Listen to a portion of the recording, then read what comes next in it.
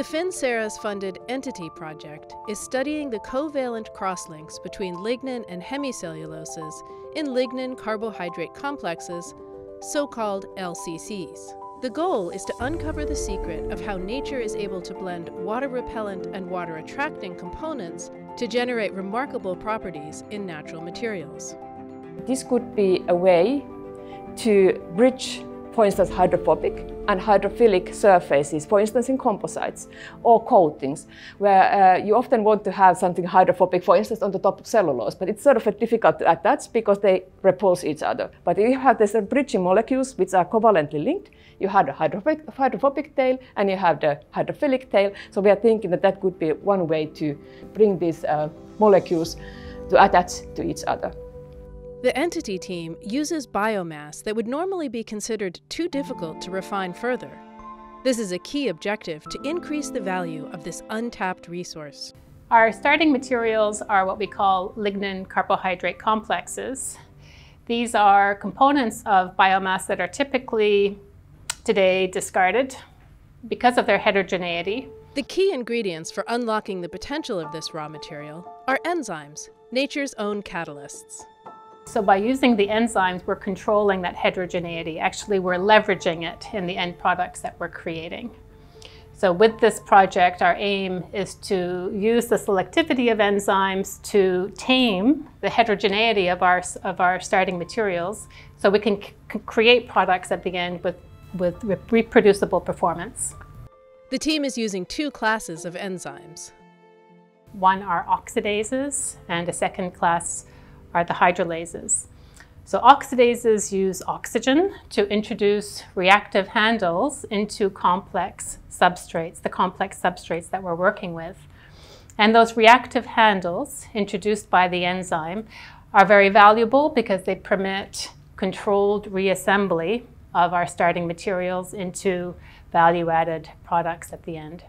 The hydrolases, on the other hand, use water to trim specific carbohydrates away from our starting materials, which controls, at the end of the day, their water solubility. And uh, if we can create these uh, LCC type of structures in laboratory, and especially when using enzymes that would enable us to um, develop new methods for making these hybrid molecules, which are currently made using quite often harsh chemistry.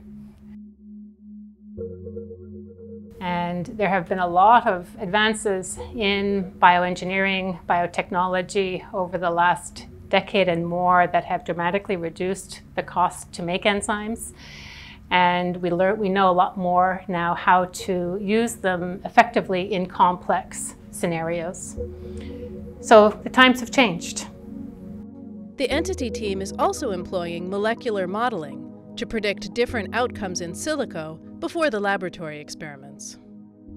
Molecular modeling allows studying how the individual variables, such as degree of polymerization, branching, and linkage positioning, affect the interactions of the lignin carbohydrate complexes with cellulose surfaces, what the materials rising out of these would have as properties, and trends regarding the solution conditions.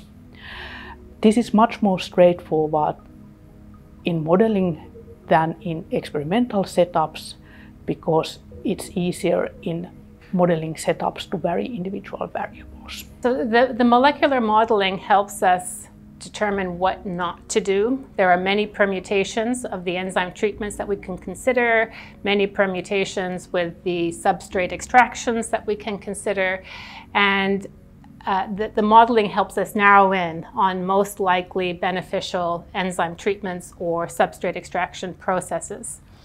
That helps us get to where we want to be quicker. Molecular modeling is a means to chart very efficiently economically. That means both economically in terms of money used and chemicals used, uh, the responses.